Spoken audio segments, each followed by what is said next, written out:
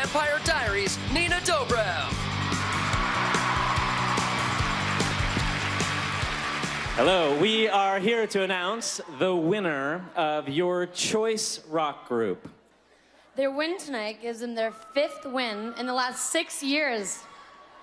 And gives them a total of 10 Teen Choice Awards, more than any other rock group. Wow.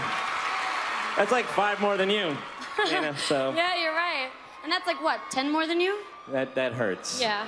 Thank you. Ouch, sorry. Fact. Hashtag fact. Um, we've tried to get them to play here every year, and finally, here they are. Performing Still Into You, here is